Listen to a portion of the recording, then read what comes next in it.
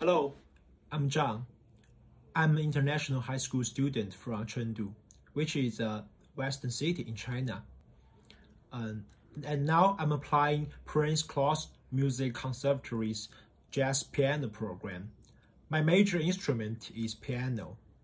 I started learn classical piano when I was six years old, and I learned jazz pi piano and jazz music about two years.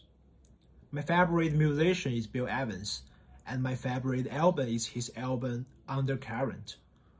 In the future, I plan to become a well-trained musician and find my own voicing. I believe Prince Claus Music Conservatory can prove me the best education and all the helps I need. Thank you.